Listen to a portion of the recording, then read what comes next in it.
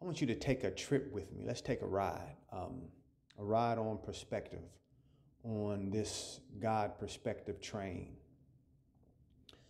Um, as you know, you know, you always hear me talking about identity, um, trying to understand it and trying to uh, give the perspective of who we really are and the power in knowing it and, and accepting it and walking with God in it. It's so important. It's so important. So um, I just got a couple of things to say. I won't be too long, but I just wanted to um, kind of offer this this perspective. I was listening to something earlier, and it really triggered an imagination. Actually, I know it was God. It triggered God in this way, and it was. And this is kind of it's kind of scary to say, but it's not. It's not really for me. But I know sometimes we hear things that we we're not used to hearing, and then we start to judge it. Um, I'll say unrighteously because we don't allow the Spirit of God to help us get understanding in the things that we uh, get wind of. So I was thinking about what I what I heard got me to thinking about Jesus. So I've heard a couple of things before. There's a there's a couple of trains of thought that I'm going to talk about. One we we already know is just regular Bible, but the other one is there are groups of people who are, and these people consider themselves to be Christians as well, and I do too.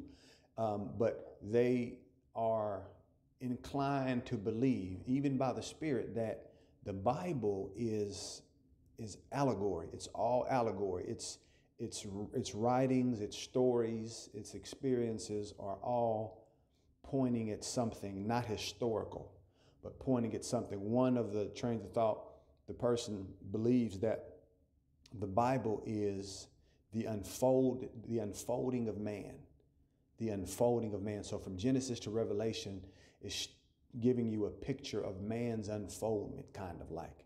Um, and I'm just going to leave it right there for that point.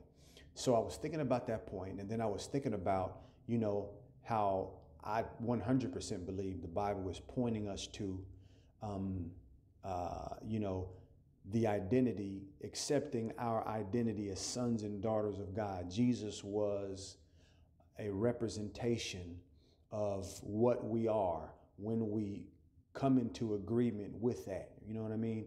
So he was he was he was showing us who he is. You know, again, the Bible says that he was the firstborn. He was the first one of his kind. So if he was the firstborn, and again, we I mean, we kind of talked about this, me and Lashandra in the live that we just did, but um, being the firstborn is you're the you're the firstborn, and there's and there so that means there's other ones that came after you. So and that's in that's in your Bible. So knowing that, and then knowing that the Bible also says that Jesus was tempted in all ways like all men. So if he was tempted like we are in every single thing that we go through on this earth, then he went through the same thing, right? So then one of that, one of what that means is, then Jesus had to have um, his experience as a man had to be like our experiences as men and women. So meaning you know, the Bible, the Bible says we need faith to please God.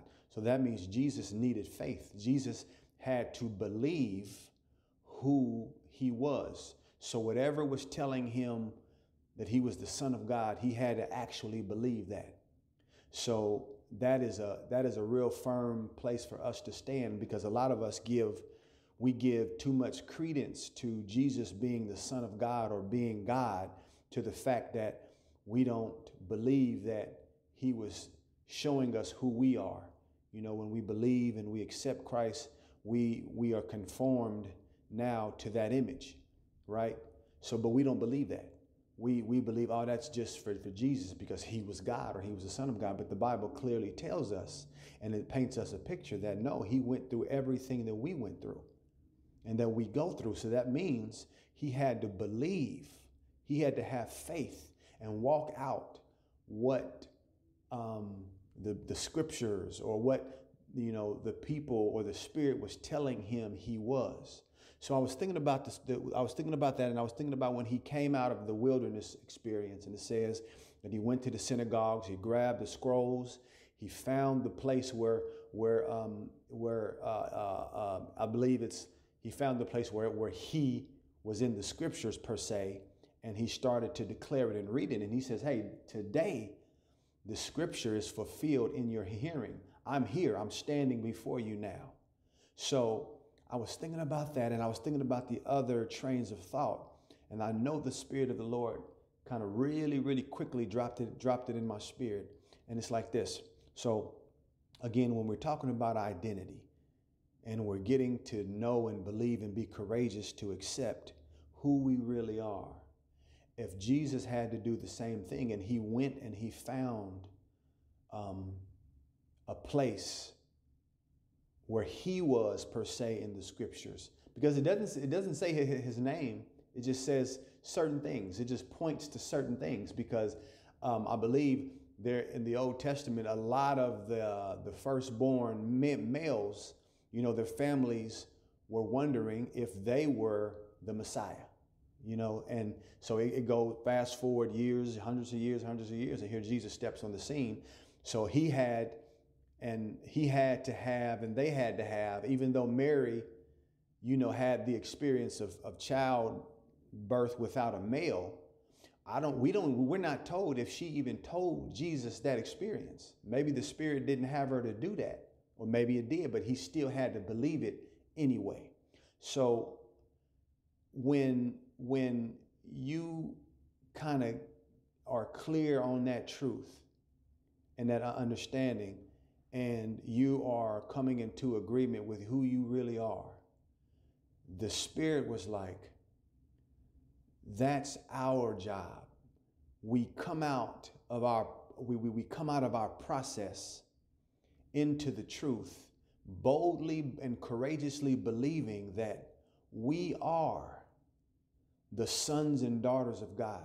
Jesus single handedly um, changed the world. The, the other 11 disciples single handedly changed the world when they were courageously operating in their identity. But the point is, the point I'm trying to make here is that you are an example of that Jesus. You are an example of uh, a person courageously walking out their process, coming to a point with God where you are accepting of who you are and you can find yourself in Scripture. Because remember, there's no names. You know what I mean? As it was pointing to who the Messiah was going to really be. Now, we know we're not the Messiah, but what I'm saying is you have a unique responsibility to display God in a real and a rich way. You know, we talked about um, the simple truth of belief. Now, it, it, it's hard because we have a lot of layers that need to be peeled back. You know, as we um, are in this world, we get conditioned a lot of different ways. But if we are for God and with God, and we walk with God, then God points us in the direction that we're to go, ultimately leading us to who we really are. So you are literally the the son and the daughter. You are the remnant. You are that piece that is designed to literally change your world by accepting who you are. You are a son of God. You are a daughter of God. We are sons of God, both male and female, if we would just believe it and courageously walk towards that light. You know, the, the, the thing that I was uh, listening to, the person who was talking about how in the Old Testament, the, the few were doing exploits, man. I mean, they were, man, they were showing God like no other. And one, one of them, he was talking about how Elijah, um, you know, he's he's challenging the officers or, or the, the whatever you want to call them of, of the of, of Baal. And he's like, hey, you know, we gonna do this, let's go. Meaning he's like, you going you you you think Baal is God? You think you tougher than than my God? You think you're stronger than my God? Let's do this. We don't do that now. We we're so um, man, we're so afraid, we're so weak, we're so unaware. That's the word. We're so unaware of who we are that we don't operate in the in the system of faith enough to display the power of God. You know, we we want the thing to just come to us. We we won't challenge the system and run, you know, saying, follow me and let's get up here. Let me see what, what you can do. And I'm gonna show you what my God can do. We don't do that because we're afraid we're gonna be wrong. We're, we're afraid it's not gonna work. And that's a strategy. That's a secret to your identity is being able to be courageous enough. And the Bible says, you know, those who, um, you know, who are not courageous will find themselves in the lake of fire. And I'm not, I'm not preaching hell in this second, but I'm telling you, there is a secret to courageousness that uncovers and reveals not only your, your, your, your unique and authentic authority, but it reveals God in you so, so tough, man, that it can't be denied. But will we go? Will we go?